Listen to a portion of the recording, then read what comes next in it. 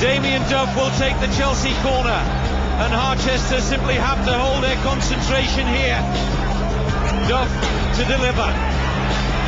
It's a good one too, and Davenport will rise with John Terry.